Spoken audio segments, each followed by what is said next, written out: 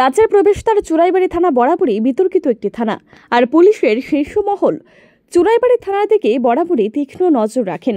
কেননা রাজ্যের প্রবেশের একমাত্র সড়ক এই চুরাইবাড়ি দিয়েই ছোট বড় যান চলাচল করে। তাই এই থানায় একজন দক্ষ ওসি থাকাটাই স্বাভাবিক।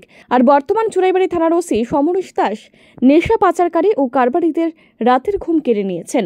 এক কথায়, নেশা পাচারকারী এবং কারবারিদের আতঙ্কের নাম সমরেশ, এমনটাই কান পাতলে শোনা যায়।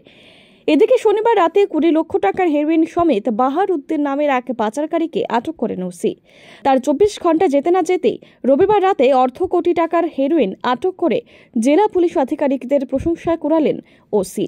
জানা গেছে, রবিবার রাত আনুমানিক নয়টা নাগাদ চোরাইবাড়ি থানার ওসি গোপন খবরের ভিত্তিতে দলবল নিয়ে স্থানীয় থানা এলাকার পশ্চিম চুরাইবাড়ি থানাধীন চোরাইবাড়ি উচ্চ মাধ্যমিক বিদ্যালয়ের পাশের মঈন উদ্দিন পিতা আব্দুল মজিদের বাড়িতে দলবল নিয়ে হানা দেন।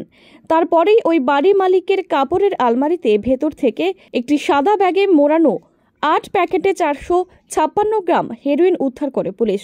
সাথে আটক করা হয় বাড়ির মালিক তথা হেরোইন কারবারি মইনকে এই মর্মে ধর্মনগর মহকুমা পুলিশ আধিকারিক জানান, গোপন খবরের ভিত্তিতে অভিযান চালালে উঠে আসে এই সাফল্য। তিনি জানিয়েছেন, উদ্ধারকৃত হেরোইনের কালোবাজারি মূল্য আনুমানিক অর্ধ কোটি টাকা।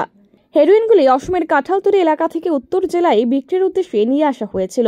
স্থানীয় থানার পুলিশ একটি এনডিপিএস ধারায় মামলা হাতে নিয়ে তদন্তে নেমেছে। সোমবার ধৃত হেরোইন কারবারিকে পুলিশ রিমান্ড চেয়ে ধর্মনগর জেলা এবং দায়রা আদালতে সোপর্দ করা হবে বলেও জানিয়েছে পুলিশ।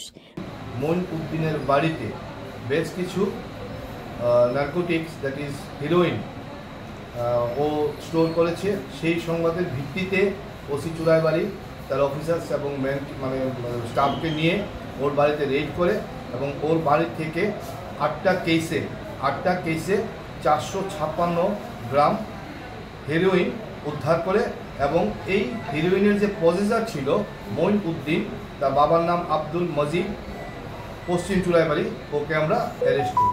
চুলাইবাড়ি থানাতে নির্দিষ্ট একটি ধারায় একটা মামলা আমরা নিয়েছি এবং এই উদ্ধারকৃত যে নার্কোটিক্স তার বাজার মূল্য, কালো বাজার মূল্য, আনুমানিক পঞ্চাশ লক্ষ টাকা। রিপোর্ট আর ই নিউজ